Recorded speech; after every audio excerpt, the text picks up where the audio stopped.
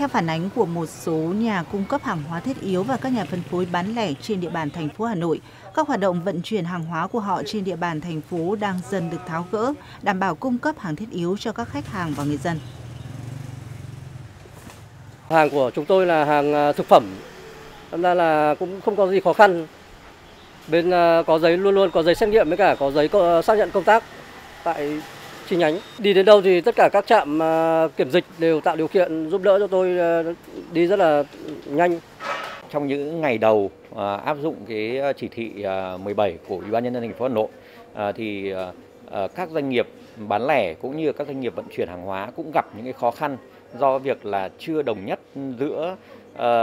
cái việc giãn cách ở Hà Nội cũng như là các tỉnh lân cận và đặc biệt là Ờ, các doanh nghiệp cũng rất là khó khăn ờ, để nhận được cái giấy phép luồng xanh ờ, theo hướng dẫn của Bộ Giao thông Vận tải.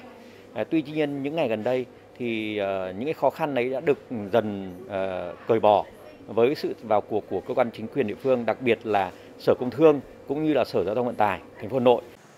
Tuy nhiên, sự thông suốt này chủ yếu chỉ trong phạm vi nội đô. Hiện việc vận chuyển hàng hóa liên tỉnh vẫn đang gặp rất nhiều khó khăn, gây thiệt hại nặng nề cho doanh nghiệp. Cái lượng xe mà mà mà trung chuyển ra ngoài Hà Nội này uh, nó giảm đi khoảng tầm độ 70%. Cho nên là tất cả cái hàng hóa từ miền Nam hoặc là một số các tỉnh thành lân cận mà khi mà muốn gửi gửi hàng ra ngoài Hà Nội này thì, thì rất khó khăn trong vấn đề tìm xe. Các tỉnh thì đều có các chốt kiểm tra trên đường xe thì luôn luôn bị trễ giờ cái thứ hai nữa là có một số xe thì phần lớn các xe sẽ bị tắc đường và không không thể vào được thành thành phố phải chờ test uh, test covid và làm một số thủ tục cái việc mà đăng ký cái luồng xanh của bên bộ giao thông vận tải ấy, uh, đăng ký cũng rất nhiều lần rồi nhưng hiện tại là chưa được cấp